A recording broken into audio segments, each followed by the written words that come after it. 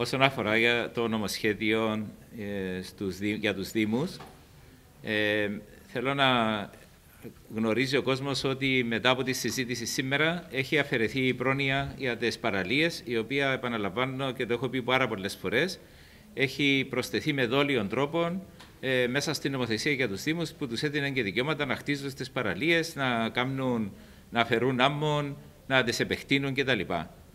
Ένα θέμα όμως το οποίο παραμένει μέσα στο νομοσχέδιο, που με ανησυχεί πάρα πολύ, είναι το γεγονός ότι ε, τα έσοδα των Δήμων θα προέρχονται, όπως λέει το νομοσχέδιο, από έσοδα των αδειών κυκλοφορίας. Και το πρόβλημα αυτό ε, βρίσκεται στο ότι έχουμε Δήμους οι οποίοι θα πρέπει να προωθούν τη βιώσιμη κινητικότητα, τα λεωφορεία, το περπάτημα, την ποδηλασία και αυτό θα γίνεται σε σύγκρουση με τα εισοδήματά τους. Δηλαδή, ένας Δήμος ο οποίος ζει με εισοδήματα από τα αυτοκίνητα, πώς τον περιμένουμε από την άλλη να κάνει εκστρατείες για να περπατά ο κόσμος, να ποδηλατά ή να πιάνει το λεωφορείο; Έχουμε μια σύγκρουση μέσα στο νομοσχέδιο την οποία δεν έπρεπε να υπάρχει.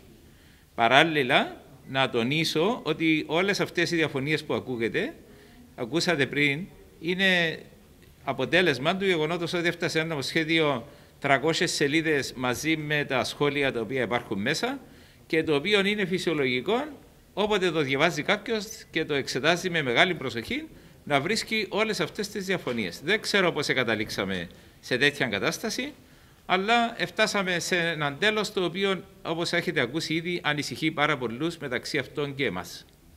Τα δημοψηφίσματα τι γίνεται;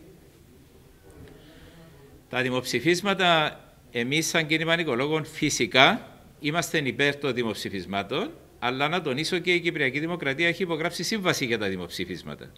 Για την τοπική αυτοδιοίκηση είναι ειδικά. Το θέμα όμως που βρίσκεται εδώ είναι ότι οι αναφορές που γίνονται μέσα στο νομοσχέδιο ή που θέλουμε να μπουν πρέπει να είναι ξεκάθαρες. Να κάνει ένα δημοψήφισμα και να φτιάχνει ένα σαφές, καθαρό αποτέλεσμα. Όχι να κάνουμε το δημοψήφισμα και να βρισκόμαστε ε, ενώπιον αποτελέσματος το οποίο δεν έδωκε και λύση ή τελική εισήγηση. Αυτό είναι το μεγάλο το πρόβλημα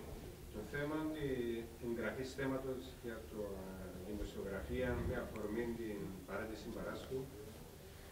Εμείς, σαν κίνημα νοικολόγων, έχουμε και το έχουμε αναφέρει και πιο πριν καταθέσει θέμα για συζήτηση αυτεπάγγελτων στην Επιτροπή Εσωτερικών για το τι έχει συμβεί στην περίπτωση του Ανδρέα Παράσχου με το δημοσίευμα και την παρέτηση την οποία έχει ακολουθηθεί.